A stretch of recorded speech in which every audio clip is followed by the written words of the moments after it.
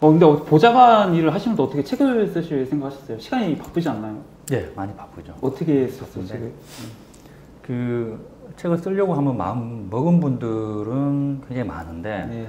또 저도 주변에 보니까 뭐 목차만 잡고 이제 진도가 안 나가는 그쵸. 분들도 많고 네. 사실 저도 그런 시행착오를 많이 겪었습니다. 음. 많이 겪고 음. 근데 한번 시작했을 때는 한번 끝을 봐야 되지 않겠나라는 생각으로 한번 써보니까 네. 그래도 어떻게 마무리하는데 의미를 두고 썼는데 그래도 많은 분들이 좀 봐주셔서 네. 보람을 느끼고 있습니다. 저는 근데 이 책이 새로웠던 게 우리가 이제 어렸을 때 많이 읽었던 송년파리 소녀 그 이야기를 경제에 정복하셔가지고 네. 경제학에서 꼭 필요한 개념들을 잘 쓰셨더라고요 아주 음. 너무 재밌게 읽었고 저도 어렸을 때 읽었던 스토리가 딱 생각나면서 아, 예. 경제에 대해 쉽게 다가왔는데 이 성냥팔이 소녀 성공기를 쓰시게 된 계기 어떤 게 있을까요? 음, 제가 이제 딸을 이제 낳고 이제 키우다 보니까 아이들이 어릴 때 동화책을 많이 읽어줬어요. 음. 이제 읽어주면서 그 중에 하나 이제 성냥팔이 소녀 성공 아니 성공이 아니죠. 성냥팔이 소녀 이야기 네. 안데르센 원작의 이야기인데 그 책을 읽어주면서 그 결말에 대해서 조금 놀랐습니다. 저는 결말 어떻게 되죠? 세상스럽게 세상스럽게 놀랐는데요. 네. 그 어린 여자아이가 추운 겨울에 성냥을 팔다가 네. 이제 추위에 떨면서 네. 이제 죽어가는 이야기더라고요. 그렇죠. 저는 그 뒤에 뭐 새로운 이야기가 있을 줄 알았는데 죽은 걸로 끝나더라고요. 그렇죠. 그 하늘 나라로 가는 걸로 끝났는데 네. 그 이야기를 읽으면서 순간적으로는 조금 멍했습니다. 음. 다 읽어주고 좀 멍하게 있으니까 네. 제 딸이 아빠한테 아빠 울지 마 이렇게 이야기를 하더라고요. 어. 그 집사람도 좀 이상하게 보고 네. 그래서 아니 아이들의 동화인데 네. 이렇게 끝나는 게 맞나 이런 생각도 들고 음. 그래서 조금 더 음, 기분 좋게 끝난 음. 해피엔딩 이야기를 네. 한번 만들어 보고 싶다라는 생각이 들어서 음. 이제 시작했는데 네. 그 우연히 이제 경제학에 대한 이야기를 좀 넣고 음. 싶다 어. 그래서 공부도 좀 별도로 좀 하면서 네. 이제 글을 쓰게 됐습니다. 예. 음. 아, 정말 그 이제 동화와 경제를 연륜하는 게 진짜 어려운 일인데 정말 잘 녹여내셨더라고요. 이 성냥팔이 소녀 성공기, 그러니까 네. 성냥팔이 소녀가 이제 원작이고 이 성공기의 대략적인 한번 스토리를 말씀해 주실까요? 음, 이야기는 네. 어, 간단합니다. 그 성냥팔이 소녀 제가 이름을 노미라고 지었는데요. 노미. 예, 네. 노미인데 네. 그 신문 배달 소년 이코하고 네. 이름을 합치면 이코노미죠. 네. 하고 같이 이제 성냥을 더 많이 파는 방법을 음. 고민하고 뭐 나름대로 성공의 길을 걸어가는 네. 이야기인데 단순히 성냥을 많이 팔았다라고 끝나는 게 아니라 네. 이제 기업을 경영하고 음. 그리고 정부하고도 협상하고 어. 기업 경영에서 발생하는 여러 가지 이슈들에 대응하고 네. 또 국제 무역까지 참여하는 네. 이야기들을 같이 이제 담은 이야기입니다. 실제로 제가 이 스토리를 보니까 이 성냥팔이 소녀가 그 성냥을 긋고 이제 어떻게 보면 길거리에서 이제 죽는데 그치지 않고 성냥 어떻게 많이 팔 수 있을까? 또 정부와 또 협상도 하고 네네. 기업도 세우면서 정말 이 자본주의가 돌아가는 모습들을 잘 그려내셨더라고요. 네. 특히 저는 이제 그 부분 중에서 이 성, 성냥팔이 소녀죠. 이 노미라는 소녀가 이제 성냥을 많이 팔려고 특별한 날을 만들잖아요. 네. 우리가 이제 흔히 얘기하는 뭐 발렌타인데이, 네. 화이트데이처럼 이제 성냥데이, 네. 불꽃데이죠. 불꽃데이 네. 동화에서는 불꽃데이를 만들었는데 이거 만들면서 어떻게 좀 판매가 늘어나게 되는 거죠? 불꽃데이라고 하는 거를 네. 예, 동화 속에서는 하나의 이제 이벤트로 만들었죠. 그 네. 마을에 이제 작은 행사로 만들었는데 음. 이제 불꽃데이가 어떤 행사냐? 네. 그래도 한 해를 마무리하거나 어떤 의미를 두는 작은 행사, 그러니까 성냥을 모아서 이제 태우는 행사를 통해서 이제 뭐 가족 간에 따뜻한 시간을 보낸다든지 하는 이벤트를 열었는데 그 이벤트 자체를 통해서 기존에 단순히 성냥으로 생활하면서 필요한 불을 붙이는 역할에서 네. 성냥이 필요한 다른 수요를 만들어낸 거죠. 아, 네, 네. 그래서 이제 단- 기존에는 단순히 이제 밥을 짓거나 이제 음. 땔감을 때울 때 불을 붙이는 용도로만 성냥을 사용했다면 네. 네. 이제는 불꽃데이를 즐기기 위해서 성냥이 필요한 아, 네. 이제 환경을 만든 거죠. 어, 그러니까 이게 어떻게 보면 수요를 넓혀준 거네요. 그렇죠. 그러니까 우리가 이제 뭐 발렌타인데이에서 뭐 사랑하는 사람한테 초콜릿을 주는 게 단순히 먹는 게 아니고 이제 사랑의 의미가 네. 담기면서 이제 네. 시장에 늘어났듯이 이 성냥도 이 놈이라는 소녀가 아 이제 성냥을 불 붙인 데 쓰는 게 아니고 또 다른 의미를 담아서 새롭게 이제 수요를 만들어주는 네네. 그 우리 사회에서 이런 것도 좀 많이 볼 수 있죠. 네, 그렇죠. 뭐, 그- 뭐 발렌타인데이, 화이트데이 말고 또 어, 어떤 게 있을까요? 이제 제품을 중심으로 만들어진 이- 뭐 기념일들이 네. 뭐 가장 쉽게 얘기할 수 있는 게 이제 11월 11일 네, 빼빼로데이. 네. 그리고 뭐 3월 3일 같은 경우에는 삼겹살, 삼겹살 데이. 네. 그리고 뭐 4월 14일 같은 경우에는 음, 뭐 발렌타인데이, 화이트데이에서 뭐 네. 초콜릿이나 사탕 네. 못 받은 사람들이 이제 짜장면을 먹는, 네. 먹는다 이렇게 의미를 담아서 네. 많이 하고 있고 음, 그리고 제가 이제 뭐 준비를 하면서 보니까 네. 이게 농심이라는 회사가 네. 이제 짜파게티라는 짜장라면 제품을 지금 판매를 하고 있는데 네. 그 광고 문구가 네. 일요일엔 내가 짜파게티 그쵸. 요리사 네. 이렇게 해서 지금 거의 40년 가까이 국내 짜장라면 시장의. 그 대표 브랜드로 네. 자리를 잡았거든요. 네. 그래서 어, 어떤 날짜 그리고 어떤 요일 하고 어떤 제품을 매칭시키는 어떤 마케팅 방식이 네. 좀 고전적일 수는 있지만 그게 어, 제대로 자리 잡았을 때는 굉장히 효과가 크지 않을까 생각합니다. 현실적으로 이게 쉽진 않죠. 근데. 네, 그렇죠. 아, 네. 아 지금은 네. 요즘 마케팅 전쟁이죠. 네, 그렇죠. 예. 그 이제 그러다 그렇게 이제 노미가 이제 불꽃대를 성공적으로 하면서 이제 그, 그 시장 내에서 성냥에서 폭발적으로 증가하잖아요. 네. 그러면서 이제 성냥이 너무 오르니까 이제 너무 비싸 문제가 또 생기잖아요. 네. 그래서 이제 왕궁에서는 아 이거 얼마 이상 못 받게 하자 음. 가격을 이제 고정시키는 정책을 쓰던데 네. 이런 경우에는 어떻게 되는 거예요? 정부가 이제 성냥값이 너무 오르니까 네. 아 이거 이상은 못 받게 해라 이러면 이제 어떤 부작용이 생기는 건가요? 이게 참 이제 시장의 어떤 자율성을 좀 존중하고 네. 좀 맡겨야 되는 부분에 어떤 선을 넘어서서 네. 정부가 강제적으로 네. 이제 가격을 통제한다라고 하는 게 이제 많은 부작용을 불러오게 되는데 네. 이게 성냥 파리토너 성공기 안에서도 보면 네. 이제 성냥의 수요가 증가하니까 성냥 가격이 많이 오르는 거예요. 그렇죠. 이제 그러면 어떤 현상이 이제 따라오냐면 기존에 성냥을 만들던 사람들은 음. 성냥을 팔수록 더 많은 이익을 가져갈 수 있기 때문에 성냥을 더 많이 생산하게 돼요. 음. 그리고 성냥을 기존에 만들고 판매하지 않던 사람들도 네. 어, 성냥을 파니까 돈이 되네. 그쵸. 라고 해서 성냥 시장에 새로 이제 참여할 동기가 그쵸. 생기는 네. 거죠. 그러면 이제 성냥이 더 많이 만들어지고 네. 성냥의 수요를 채워줄 수 있을 만큼 공급이 네. 따라가고 네. 그러면 이제 이 가격대 자체가 성냥 희소성이 떨어지기 때문에 네. 어느 정도 적정한. 수준에서 안정화가 되는데 네. 근데 그런 시장에 이제 보이지 않는 손의 역할을 좀 무시하고 네. 인위적으로 이제 가격이 비싸다는 이유만으로 네. 성냥 가격을 강제로 낮추게 되면 네. 앞서 말씀드렸던 것처럼 성냥을 더 많이 생산해 봐야 네. 많이 남지도 네. 않고 그러면 추가적인 성냥 공급자가 등장할 동기도 없고 없어지죠. 예. 그러다 보니까 계속 수요는 높은데 공급이 적은 네. 이제 공급 부족 상태가 이제 장기화되고 네.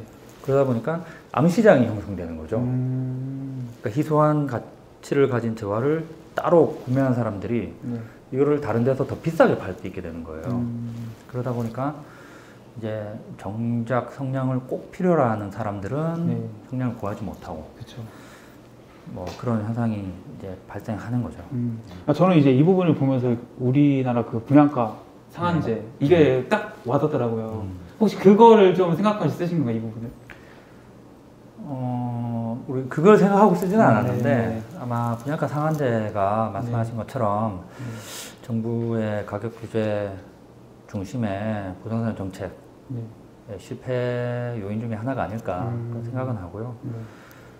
이게 가격을 기준으로 한 뭐 통제 정책이 네. 저는 바람직하지는 않다고 보거든요. 음.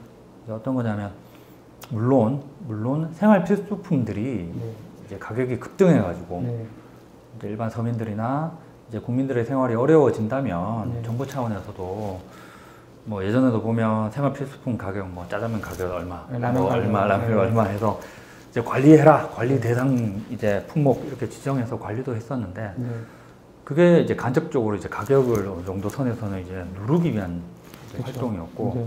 직접적으로 최근에 이제 부동산 관련해서도 이제 가격 중심의 이제 통제 정책, 네.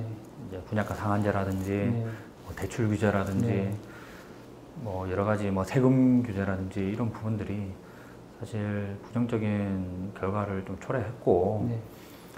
그 가격에 집중하기보다는 경제적 경제의 어떤 기본적인 순환 원리인 네. 수요와 공급의 균형을 맞춰주는데 네. 좀 집중해야 되고 그래서 정부 차원에서는 네. 일시적으로는 그 가격 규제를 좀 할 수는 있다고 봐요. 음. 왜냐하면 어느 순간 갑자기 생필품 가격이 급등해 버리면 이제 사람들이 생활하기도 어렵지만 그렇죠. 네. 그 불만이 결국 표로 가겠죠. 그렇죠 표로 가고 네. 정책 결정자에 대한 어떤 불만으로 네. 나오는 거거든요. 그래서 일시적으로는 할수 있어도 네. 그와 동시에 최대한 대체제를 마련하고 네. 그리고 공급을 이제 충당시킬 수 있는 대책을 네. 마련을 해야 되는 거죠. 네. 그래서 최대한 빨리 가격 규제 정책을 철회하는 방향으로 음. 조치가 이루어져야 된다고 네. 봅니다. 그래서 부동산 정책 같은 경우에도 네. 그 수요와 공급의 어떤 기본적인 원리는 무시하고 네. 가격에만 집중해서 네. 이제 23번에서 24번의 부동산 정책을 좀 발표를 하다 보니까 네. 발표할 때마다 가격은 오르고 음. 근본적인 이제 해결책은 좀 되지 못했던 음. 거죠. 아 근데 이제 그 이 성냥은 뭐 공장을 막 지을 수 있으니까 늘어날 음. 수 있지만 이제 부동산이라는 건 이제 땅이 제한되어 있잖아요. 네. 공급량을 늘릴 수 있나요, 근데? 그게 네. 또 재개발 재건, 재건 축 관련된 규제하고 또 음. 연결되는 거죠. 아, 그 서울 강남 같은 경우에도 이제 수십 년 전에 지은 이제 뭐 5층에서 그쵸, 뭐 그쵸. 낮은 그 네. 아파트 단지들이 있는데 네. 그런 단지들이 이제 재개발이라든지 재건축에 대한 수요가 분명히 있어서 이제 거기서 기존에 같은 부지에서 더 많은 이제 가구가 들어갈 수 있는데도 불구하고 음, 재개발 재건축 규제가 또 일어나다 보니까 네. 좀 공급이 부족해지는데 또 영향을 미치지 않았나 생각이 음. 듭니다. 그렇게 선장을 이제 막 팔다가 이제 동화 보니까 라이터가 등장하더라고요. 네. 이 라이터가 등장하면 이제 성냥 시장은 어떻게 되는 거죠? 그 기존에 성냥만 있던 시장에서 네. 이제 불을 붙인다라고 네. 하는 이제 똑같은 기능은 있지만 더 휴대가 편하고 네. 더 오래 쓸 수 있고 그렇죠. 네. 또 성능이 좋은 라이터라는 제품이 나타나니까 일종의 혁신이죠. 네. 혁신이어서 그 신제품이 나올 때더 네. 좋은 성능이 나왔다면 네. 당연히 그 제품의 가격은 비싸겠죠. 음. 그, 그 당시에도 이제 라이터가 처음에 나왔을 때는 성냥보다는 훨씬 더 비싼 가격으로 네. 라이터가 공급될 거고 네. 그래서 경제적으로 여유가 있는 분들은 이제 라이터를 쓰고 음. 또 그렇지 않은 분들은 이제 성냥을 쓰는 네. 이제 시장이 이원화되면서 기존의 성냥 시장은 이제 상대적으로 이제 축소가 되겠죠. 음. 그럼에도 불구하고 그 성냥을 필요로 하는 곳이 또 계속 있고 또 라이터가 이제 기술의 개발이라든지 음. 이런 뭐 경제 발전 등으로 해서 이제 보편화되기 전까지는 네. 성냥은 계속 이제 생산되는 구조로 음. 가게 되고요. 네. 뭐 우리나라 같은 경우에는 네. 어 제가 알기로는 이제 성냥 공장은 이제 없는 걸로 알고 네, 없다고 하더라고요. 네. 아마 우리는 어디인지 지역은 기억이 안 나는데 우리나라의 마지막 성냥 공장이라고 하면서 네. 지역의 어떤 문화유산 비슷하게 해서 박물관 비슷하게 유지하고 있는 곳은 있는 걸로 알고 있습니다. 음. 그럼 우리가 이제 좀 이런 성냥과 라이터 등장을 피부로 체감할 수 있는 현실 사례가 있을까요? 음, 그 우리가 많이 쓰는 핸드폰 음, 같은 경우에 이제 애플이 아이폰을 내놓으면서 네. 이제 스마트폰 개념의 핸드폰이 나온 예, 거죠. 예. 그러다 보니까 전 세계적으로 스마트폰 시장이 이제 엄청나게 확대가 됐습니다. 네. 네, 그럼에도 불구하고 여전히 우리나라에도 보면 이제 효도폰이라든지 네. 이런 이름으로 아. 기존의 키패드 핸드폰이 네. 여전히 이제 출시가 되고 네, 있잖아요. 맞아요. 네, 그런 현상 정도로 비교가 되지 않을까 생각하고 음, 그리고 음원 시장 같은 경우에도 네. 예전에는 이제 레코드판이라고 해서 음. 이제 검정색 이제 동그란 아, 예, 판으로 예, 예. 해서 나왔다가 그 다음에는 이제 카세트 테이프를 음. 많이 쓰게 되고 그리고 카페트 디스크 CD라고 하죠. 네. CD를 통해서 이제 음원을 많이 이제 즐기게 되다가 이제 MP3처럼 이제 파일화된 음원들이 또 유통되면서 좀 음, 혁신이 일어났죠. 그렇죠, 그렇죠.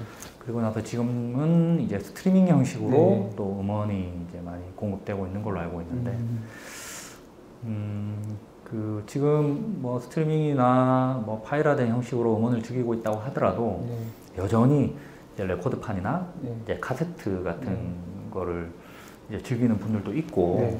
실제로 시중에는 카세트 테이프 플레이어를 여전히 만들고 판매를 하고 있습니다. 네. 뭐 그런 것과도 좀 비교가 가능하다고 보고요. 음, 근데 우리 아이들 같은 경우에는 네. 아마 성냥을 뭐 직접 보거나 만져본 애들이 거의 없는 것처럼 네. 카세트 테이프나 레코드판 같은 경우에도 네.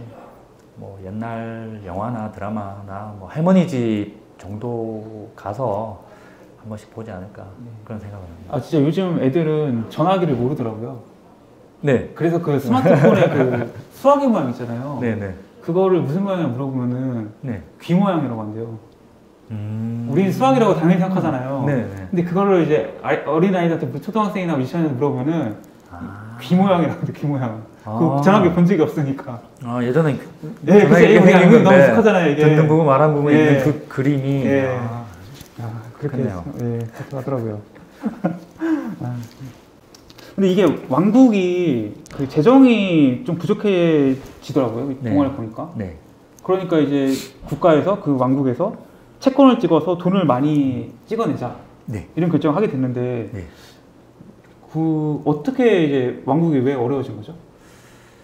어, 왕국 뭐 이게 여러 가지 뭐 이유가 있을 수 있는데 왕국이 여러 가지 사업을 벌이려고 하니까 이제 가장 필요한 게 돈이죠. 그렇죠, 그렇죠. 재정이죠. 네, 그러다 보니까 재정을 조달하는 여러 가지 방식이 있는데 네, 이게 뭐 시장의 어떤 균형이라든지 네, 경제 활성화에 어느 정도 고려 없이 네, 왕국에서 무조건 지출에만 신경을 쓰다 보니까 네, 돈을 조달하는 게 이제 채권을 발행해서 돈을 조달했는데 네, 그렇게 조달한 돈을 시중에 다 풀어서 쓰고 네, 거기에다가 직접 돈을 더 찍어내면서 시중에 돈을 이제 네.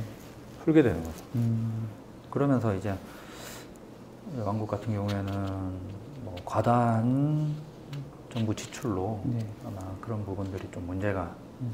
됐던 걸로. 그럼 그렇게 이제 돈을 찍어내면은 어떤 문제가 생기게 된 거예요?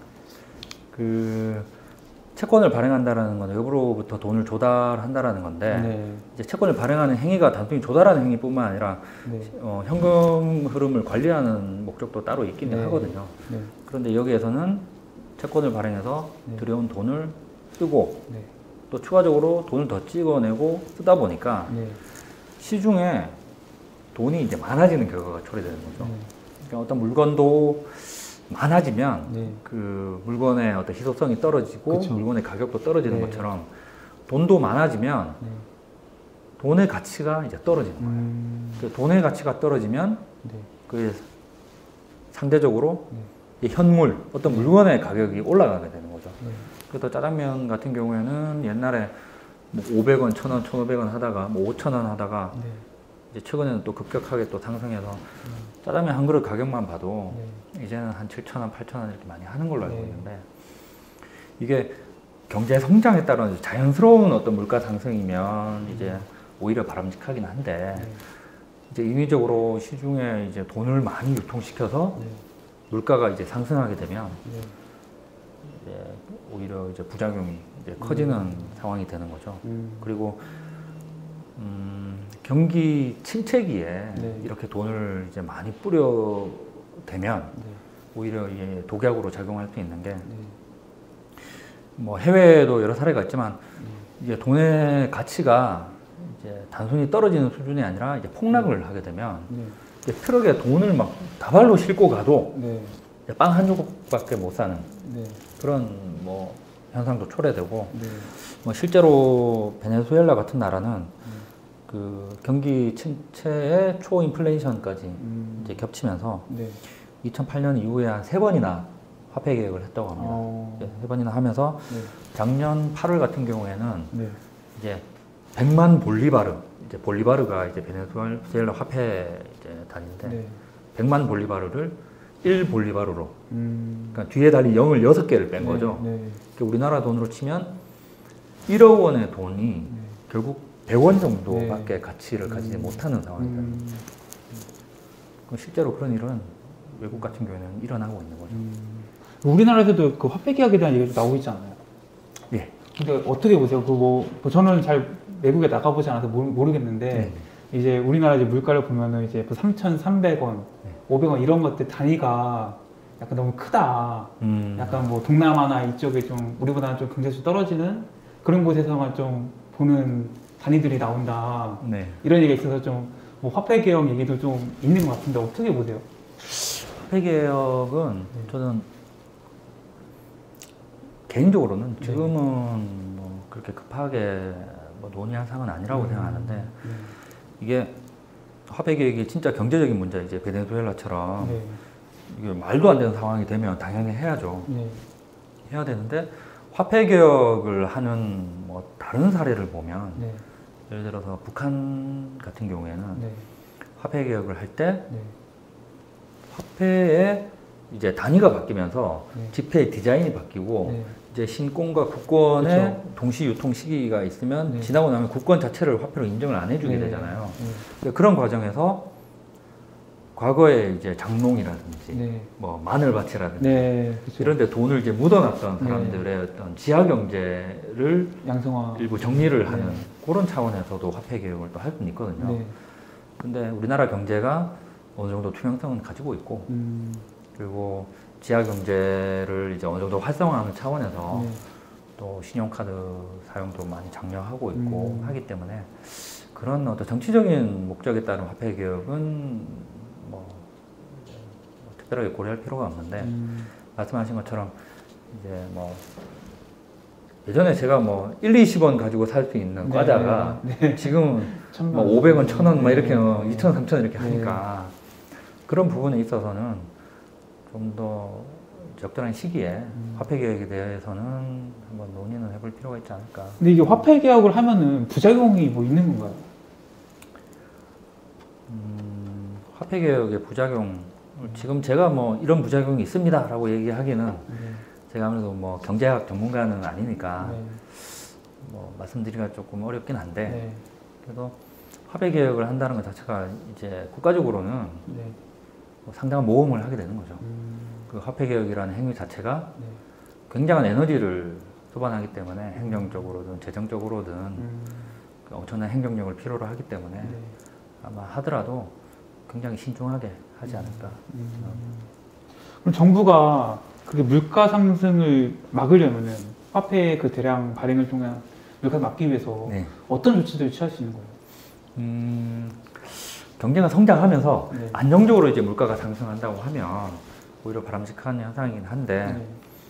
경기 침체기에 물가가 이제 급격하게 상승하는 부분은 굉장히 나쁜 신호여서 네. 음, 한국은행 같은 경우에는 대표적으로 이제 금리를 높이는 방법이 있죠. 이제 금리를 높이면 음.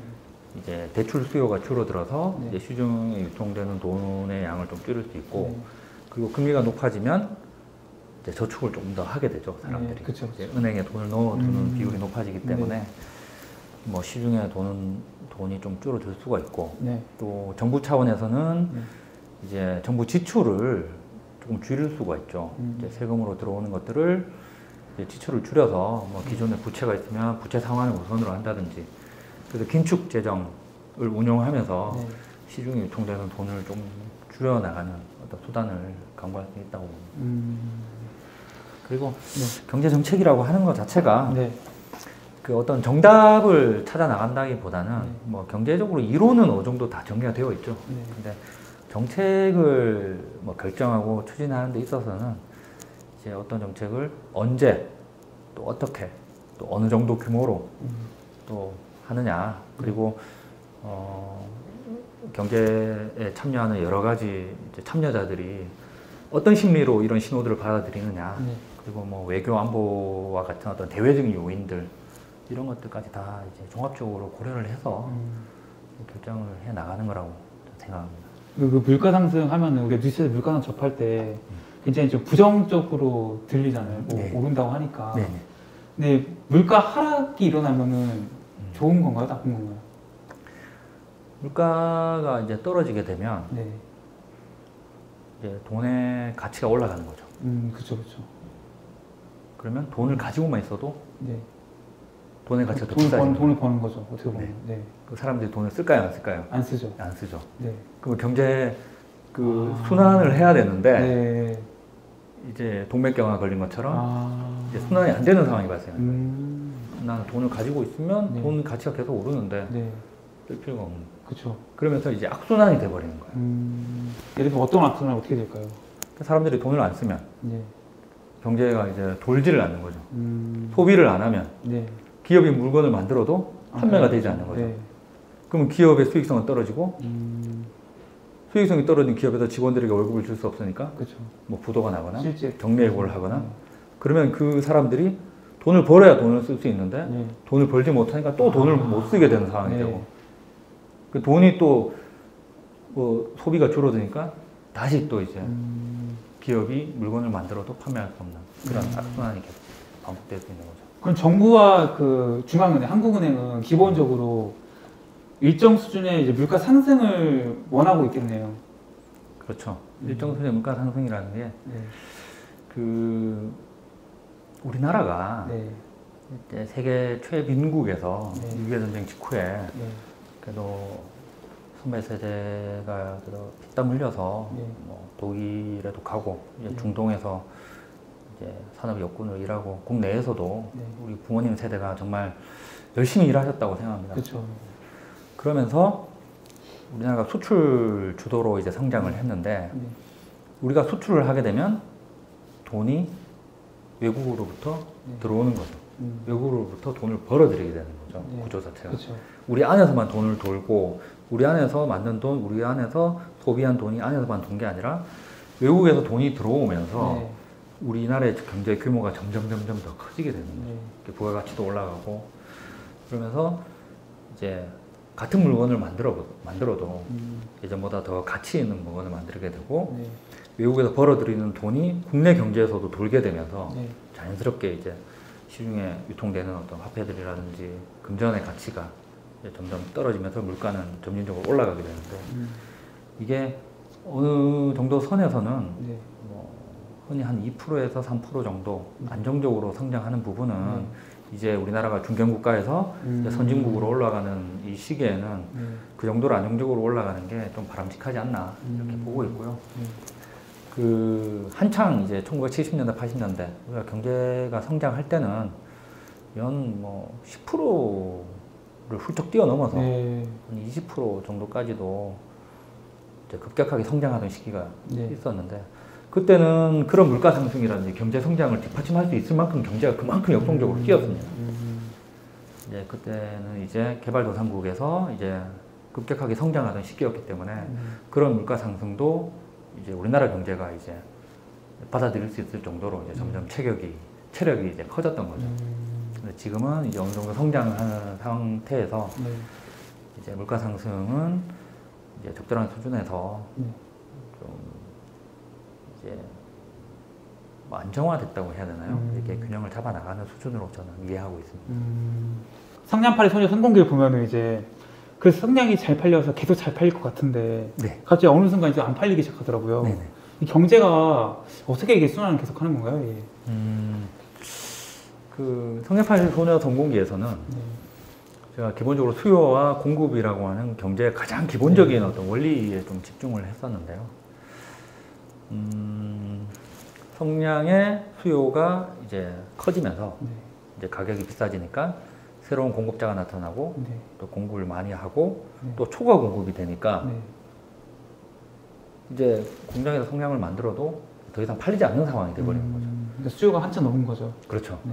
그 팔리지 않으니까 음. 떨이로 이제 팔기도 하고 음. 그리고 이제 뭐 손실을 감수하고 음. 이제 재고 처분을 하는 것도 나오는 거죠. 왜냐하면 보관료가 계속 드니까. 네. 네, 그러면서 이제 수익성이 떨어지는 공장들은 이제 부도가 나기도 하고 네.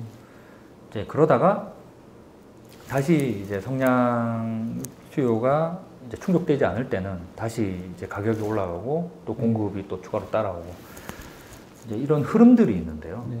이게 성냥 가격이 이런 균형들을 균형을 이제 잡아가는 과정이 하나의 순환의 형식으로 나타나는 것처럼 네. 이제 경기도 음. 음, 하나의 사이클을 두고 네. 뭐 경제 활황기, 네. 경제 후퇴기, 네. 경제 침체기, 네. 그리고 경제 회복기, 네. 그리고 다시 활황기 이렇게 음. 어느 정도 사이클을 가지고 네. 적절한 균형을 계속 계속 잡아 나가는 음. 이 과정이 경기 흐름으로 보시면 될 것 같습니다. 그럼 이 사이클이란 건 필연적인 건가요? 그렇죠. 이게 어, 어떤 뭐 누군가가 철저하게 계획을 해서 네. 뭐 짜장면은 얼마, 네. 뭐 공장에서 올해는 성량을 몇 개 만들어 네. 이렇게 통제를 하지 않는 이상 그 시장 경제라고 하는 게 네. 시장 경제 참여자들이 자율적으로 이렇게 자기 개인의 이익을 위해서 음. 저마다 움직이기 때문에 네. 이런 균형이 가격이라고 하는 것을 통해서 네. 하나의 신호가 돼서 이제 자리를 잡아 나가는데요. 음. 이제 살아있는 생물과 같은 거죠. 음. 가격이라는 게. 그리고 가격이라고 하는 게 모든 수요와 공급이라든지 앞으로의 기대라든지 네. 과거의 사례에 대한 어떤 반영이라든지 네. 그런 모든 정보들이 이제 가격이라고 하는 것에 반영이 돼서 이 가격이 살아있는 생물처럼 계속 움직이는 거예요. 음. 그러면은 그 이제 국가에서는 경제를 관리해 나가잖아요. 네. 그 관리한다는 의미가 그 어떻게 보면 그 경제가 절정일 때와 네. 침체일 때이 네. 폭을 좀 적당히 줄여가는 걸 얘기하는 건가요? 아니면 음, 예, 그거 굉장히 중요한 부분이라고 봐요. 네. 예. 왜냐하면 그 사람들이 살아가는 데 있어서 저는 예측 가능성이 되게 중요하다고 그렇죠. 보거든요. 네. 특히 경제와 같이 우리의 민생에 직접적으로 연관이 연결이 되는 부분은 사람들이 어느 정도 예측 가능성을 가지고 네. 내가 이렇게 생활하고 있는데 얼마씩 저축하면 5년 뒤에는 어느 정도 되겠다. 네. 10년 뒤에는 어느 정도 되겠다. 네. 이렇게 해서 연금을 이렇게 부으면 뭐 한 65세 이후에는 음. 매달 얼마 정도 받을 수 있겠다. 이런 예측 가능성을 가지고 자기 인생을 설계를 해 나간단 말이죠. 그래서 국가에서 경제 정책을 수립하고 추진할 때도 음. 이제 국민들한테 그런 것들을 중요한 정책 같은 경우에는 사전 예고도 하고 또 공식적으로 정책 발표도 하고 네. 그리고 그런 중요한 정책 같은 경우에는 이제 공식 발표 이전에 사전에 이제 내부 정보가 빠져나가지 않도록 조심하기도 하고 네. 그러면서 이제 관리를 하는데 말씀하신 것처럼 가급적인 그런 예측 가능성을 높여주는 음. 게 저는 정책에 있어서 되게 중요한 부분이라고 생각합니다. 음. 그래서 점진적으로 상승하는 게 좋다면 점진적으로 상승하는 방향으로 예측 가능할 수 있게끔. 네. 근데 우리 경제라든지 국제 경기가 그렇게 썩 좋지 않아서 그게 조금 어려운 상황이다라고 네. 아, 최소한 앞으로 한 몇 년 정도까지는 어느 방향으로 이렇게 가겠다. 네. 라고 하는 부분들에 대해서 이제 뭐 경제가 많이 나빠지겠다라고 할 때는 네. 많이 나빠지지 않도록 그런 변동폭을 줄여나가는 게 음. 어, 중요하다고 생각합니다. 음. 이제 저는 여기서 딱 얘기가 끝나서 정말 되게 좋았는데 여기서 또 환율을 또 말씀하셨어요. 환율이 되게 어려운 개념이에요. 사실 이게 쉬- 쉽지가 않은 건데 이 환율 때문에 라이터 판매량이 줄어들더라고요. 네. 어떻게 되는 거죠, 이거는? 음, 이게 환율을 설명하기가 네, 진짜 쉬운 게 아니에요. 많이 어렵더라고요. 네. 음, 환율이라고 하는 거는 네. 이렇게 좀말 자체가 좀 어렵게 들리는 분들도 있을 텐데 네. 그두 나라의 화폐 가치가 네. 이제 우리는 이제 원화를 쓰고 미국은 예를 들어 달러화를 쓰고 일본은 엔화를 쓰고 네. 중국은 위안화를 쓰고 이렇게 다 다른데 네. 두 나라의 화폐 가치가 이제 균형을 잡은 상대적인 비율을 말해요. 음, 그래서 네. 최근 같은 경우에 제가 한번 체크를 해보니까 네. 어, 미국 1달러가 네. 우리나라에 한 1,200원 전후 음, 그리고 일본 100엔이 1,040원 네. 그리고 유럽 연합 1유로가 한 네. 1,370원 전후로 지금 뭐 환율이 이렇게 되어 있는 걸로 보고 왔는데요. 네. 그 환율도 사실상 이제 살아있는 생물처럼 네. 하루에도 네. 수시로 이제 변합니다. 음, 하루에도 수시로 변하고 음, 그 변동 폭이 그렇게 크지 않은 경우에는 네. 큰 문제가 없는데 네. 방금 말씀하셨던 것처럼 환율 변동으로 이제 판매량이 이제 급감한다라고 네. 하는 상황이라면 네. 예를 들어서 우리나라에서 어떤 제품을 생산했는데 네. 1,200원을 들여서 제품을 만들었으면 그 1,200원짜리 제품이 미국에 갔을 때는 환율이 1,200원 대 1달러일 때는 미국에서도 1달러의 가치로 판매가 되겠죠. 그렇죠. 그런데 환율이 바뀌어서 네. 물건은 똑같은데 네. 우리나라에서 1,200원 들여서 만든 거는 똑같은데 환율이 바뀌어서 우리나라의 1,200원의 가치가 미국의 1달러가 아니라 1.5달러나 2달러가 되어버리면 네. 우리 돈으로 1,200원 들여서 만든 물건이 미국으로 넘어가면 기존에 1달러에 팔리던 게 단순히 환율 변동만으로 2달러에 판매가 되어야 되는 상황이 발생하는 네. 거예요. 그러면 가격이 두 배로 올라가면 네. 수요가 당연히 줄어들겠죠. 물건이 비싸지니까. 네, 그렇죠, 그렇죠. 그런 경우에는 가격이 올라가면 네. 가격이 올라간 만큼 수요가 거기에 맞춰서 줄어드는 게 아니라 네.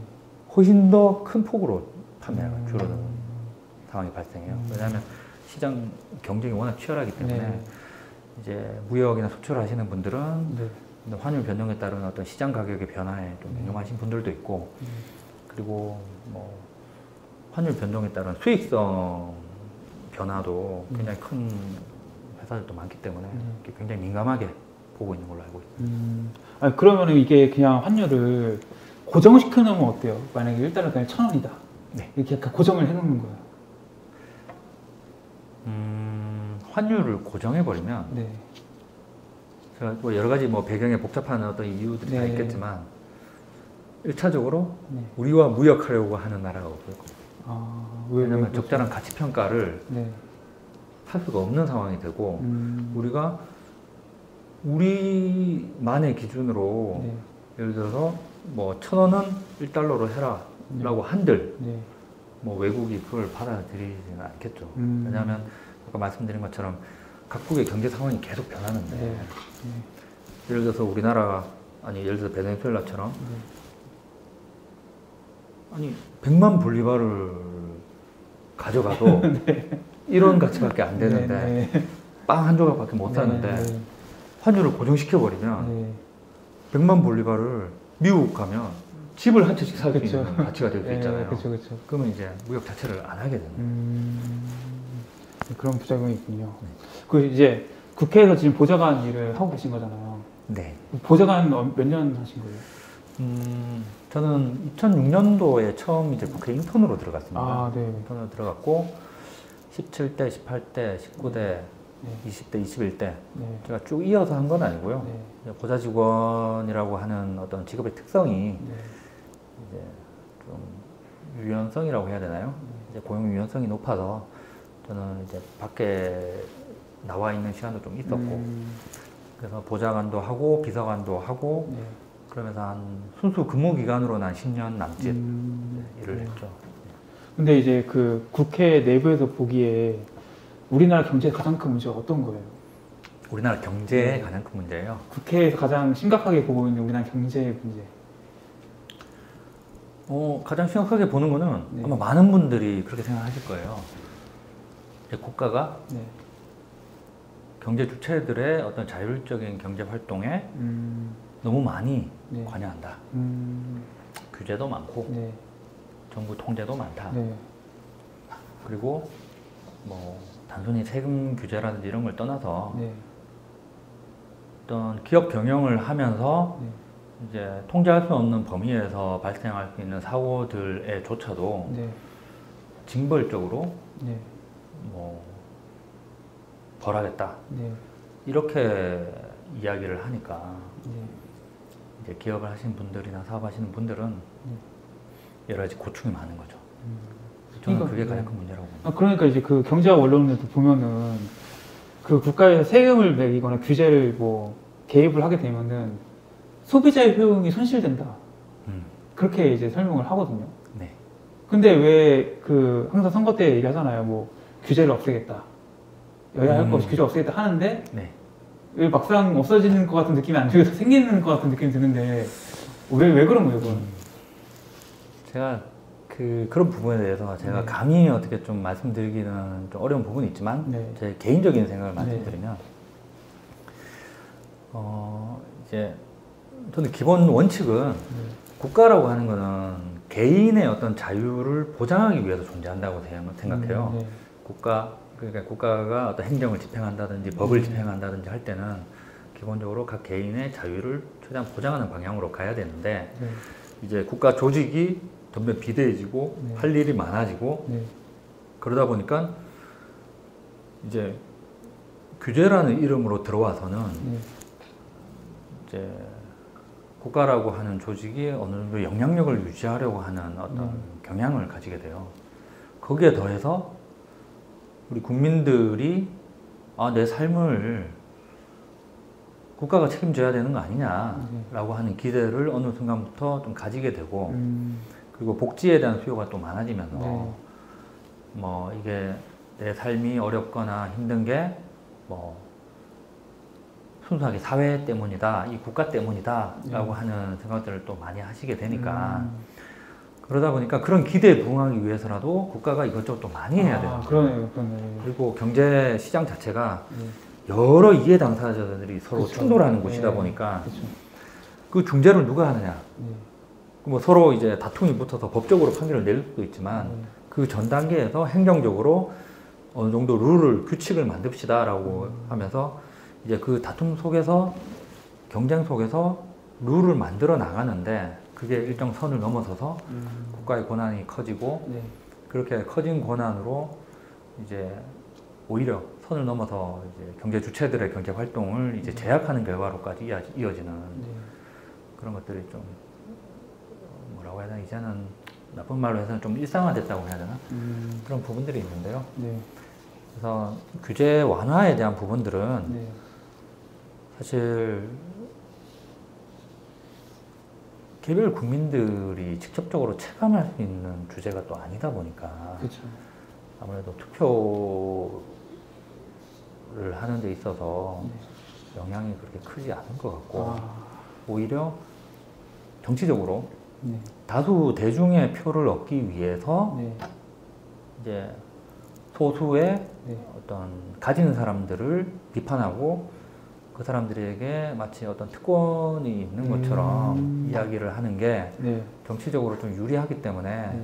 아마 그렇게 이야기하는 분들도 저는 일부 있는 걸로 음. 보고 있습니다. 음. 아, 그러니까 이게 약간 이런 거네요. 그냥 구- 국민이 이제 뭐 점점 경제도 성장하고 의식이 성장하면서 국가에 대한 기대치가 높아지고 국가는 그 기대치를 충족시켜주기 위해서 어떻게 보면 더 많은 서비스나 뭐 이런 것들 해, 해줘야 되는데 거기에 당연히 돈이 이제 필요하게 되는 거죠. 음. 네, 맞습니다. 그러니까 여러 가지 뭐 세금도 만들고 걷고 규제도 만들어서 뭐 잘 사회도 관리를 해야 되고 네. 그런 것들 하니까 점점 국가의 역할이 비대해지고 네.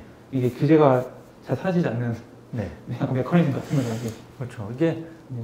정부 조직이 약간 그런 경향이 있어요. 관료 조직이. 네.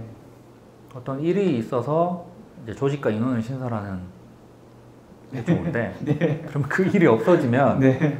그러면 조직과 인원이 좀 정리가 되어야 되는데 그렇죠, 그렇죠. 정리될 수 없죠. 예. 조직과 있고 사람이 있으니까 네. 또 일을 만들어 만들어야죠. 네. 근데 정부 조직의 일이라는 게 음. 대부분이 사실은 어떤 규제와 그렇죠. 인허가 네. 뭐 보통 그런 거니까. 그런 것들이거든요. 이런 거니까. 네, 그래서 저는 뭐 기본적으로 아까도 말씀드렸지만 네. 경제 주체들이 네. 좀 자율적으로 열심히 일할 수 있게끔만 국가는 뒷받침만 해주는 거. 음. 그거를 통해서 경제가 활성화되고 열심히 일하는 사람들이 돈을 버는 사람들이 거기에 맞게 세금을 내고 음. 그렇게 해서 국가가 재정이 충당이 되면 네. 그렇게 들어온 세금으로 이제 사회적 약자라든지 어떤 기회가 필요한 분들 네. 그리고 도움이 필요한 분들을 뒷받침해주고 그렇게 움직이는 게 저는 가장 바람직하다고 보고 음. 음, 뭐 과다한 세금을 통해서 재정을 충당하고 네. 그런 걸 가지고 정치적으로 마치 선심성으로 이제 재정 지출을 통해서 뭐 복지를 확대하면서 네. 정치적으로는 또 이제 표를 얻으려고 하는 네. 그런 구조로 가는 거는 네. 조금 나중 부정적인 결과를 초래하지 않을까 음. 생각을 합니다. 그 이제 경제 동화를 썼잖아요. 그리고 요즘에 우리나라 국민들이 그 주식 재테크, 뭐 부동산 관심도 많이 생겼고. 네. 근데 여기에 맞춰서 이제 뭐 경제 교육이 좀 많이 부족한 게 아니냐 네. 이런 얘기도 많이 하잖아요. 네. 어떻게 어떻게 보세요 그런 것들? 저도 저도 사실은 뭐 그렇게 보- 생각하고 있고요. 똑같이 생각하고 있고 네. 제가 이게 딸들이 이제 초등학교 다닐 때 네. 지금은 이제 올해 한 명이 고등학교 가고 이제 어. 중학교 가고 있는데 네. 다 마찬가지일 겁니다. 네. 초등학교에 이제 어떻게 학부모가 방문할 수 있는 기회가 있어서 갔는데 네. 초등학교 교과 과정에도 경제라든지 금융을 가르치는 게 네. 없어요. 그렇죠, 그렇죠. 그래서 뭐 오히려 최근에는 뭐 민주 시민 교육, 인권 교육, 네. 뭐 노동 교육 네. 그런 것들을 더 강조해서 좀 가르치고 있고요. 음, 그러다 보니까 아이들이 실생활에서 꼭 필요한 어떤 경제적인 이게 경제라고 하는 게 단순히 돈을 버는 게 아니라 네. 여러 가지 어떤 환경 속에서 가장 합리적인 의사 결정을 내리는 과정이 사실 통칭해서 어떤 경제 활동으로 네, 그쵸. 볼수 있는 거거든요. 네. 그래서 경제라든지 금융과 관련해서도 아이들에게 음. 또 교육하는 게 저는 꼭 필요하다고 보고 네. 이게 뭐 정부에서뿐만 아니라 네. 이제 민간 영역에서도 또 은행이라든지 이런 분야에서도 적극적으로 노력은 하고 있는 걸로 알고 있습니다. 아 근데 이, 이게 경제 교육은 사실 그냥 일반 저 같은 시민이 봤을 때는 여야가 따로 뭐 부딪히만 없는 것 같거든요. 예. 근데 이게 왜 이렇게 어려운 거 어려운 거예요 시행하는 게? 어떤 그러니까 이런 게 시행 경제 교육이 딱뭐 예를 들어서 초등학교 교육까지 딱 포함되려면은 네. 어떤 과정들이 일단 거쳐야 되는 거예요? 음, 이제 뭐 교과 어떤 과목화하는 거는 네. 어떤 과목을 과목화하는 부분은 이제 뭐 교육부라든지 이제 정부 차원에서 네. 교과 과정 개편 과정에서 적절히 이제 반영이 되거나 네. 각 교육감들이 네. 각 시도 교육감들이 이제 자체적으로 이제 과목을 개설하고 네. 어, 자체적으로 이제 교과서도 어느 정도 만들 수 있어요. 네. 그런 과정에서 이제 경제교육이라든지 뭐 금융교육과 관련된 과목을 개설하고 할 수도 있는데 네. 사실 기본적으로 모르겠어요. 이제 어, 국민 정서가 네. 어, 돈을 다루는 것을 가르친다라고 하는 데 대해서 음, 이제 조금 부정적으로 생각하시는 분들도 있고. 음, 지금 뭐 돈 버는 거 그거 배우기보다는 음, 이제 영어나 수학이나 그런 부분들을 먼저 해야 되지 않느냐 음, 또 이게 어느 시기가 있는 것 같아요. 음. 예전에도 네. 한참 이제 경제 교육이 필요하다라고 이제 많이 이야기할 때가 있었어요. 네. 그래서 기업 같은 경우에는 이제 경제 교육과 관련된 부분에 대해서 좀 더 집중적으로 네. 보겠다.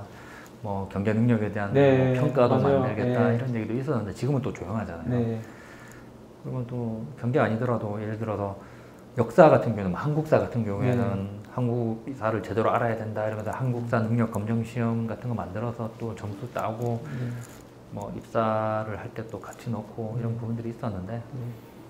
이제 그런 부분들이 뭐 시즌을 따라서 이슈가 될 때만 하는 게 아니라 네. 이제 어느 정도 좀 보편적으로 네. 어느 정도 수준의 경제 교육은 필요, 필요하다라고 하는 공감대를 좀 형성하고 음, 사실 우리도 뭐 정치 경제 이러면서 과목이 있었잖아요. 네, 그렇죠. 그래서 저도 정치 경제 이제 고등학교 수업 시간에 경제에 대한 기본 원리, 수요 공급 곡선을 네. 이제 그리고 이제 어떻게 이동하고 네. 이런 거 배웠었는데 그런 부분들이 있어서 조금 더 탄탄하고 내실 있게 음, 좀 가르치면 음. 좋지 않을까 생각합니다. 그러니까 이제 그런 거네요. 이- 이런 뭐 경제를 교육까지 포함시키고 안 시키면 어쨌거나 행정 권력의 의진 의지인데 네. 이게 어쨌거나 사람마다 조금 이제 이걸 부정적으로 보는 사람도 있고 네. 긍정적으로 보는 사람도 있으니까 네. 굳이 뭐 이거를 내가 강하게 드라이브를 걸어서 뭐 할 필요는 없으니까 이제 그렇게 잘 반영이 안 되는 거네요. 어떻게 보면. 네, 그렇죠. 이게 네. 또 거기 계신 분들이 어느 정도 역할과 책임을 가지고 계신 분들이 네. 의사결정을 해 나가는 부분인데 네. 말씀하신 것처럼 이제 반대가 강한 경우에는 이제 음. 못하는 경우도 있으리라고 생각합니다. 음,